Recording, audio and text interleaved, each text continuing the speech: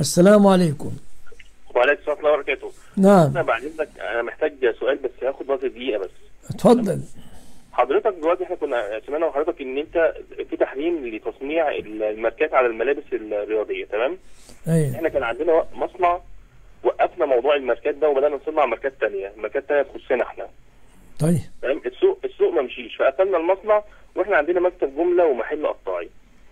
السوق المصري دلوقتي أي حاجة حتى لو شراب ب 5 جنيه بيكون مطبوع عليه أي طباعه كده باسم ماركة عالمية عشان السوق السوق, السوق المصري بقى واخد على كده. تمام. فإحنا دلوقتي الحكم فيه كتجارة إن أنا مكتب جملة إن أنا أجيب من المصانع وأتاجر فيه للمحلات والحكم فيه بالنسبة للمحل القطاعي. يعني حتى الشراب الحزمة الشنط الكلام ده كله بيبقى مطبوع عليه حاجة للماركة آه، أي ماركة ثانية أجنبية. شوف يا أخي الكريم يعني معذرة معذرة.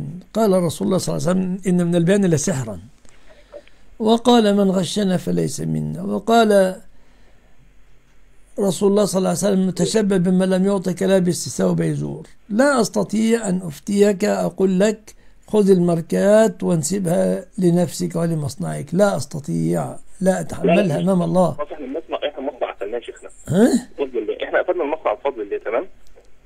طيب ما أنت الآن تسأل عن التجارة. مكان متى عن أنت. أنت انتقلت إلى التجارة أيضا.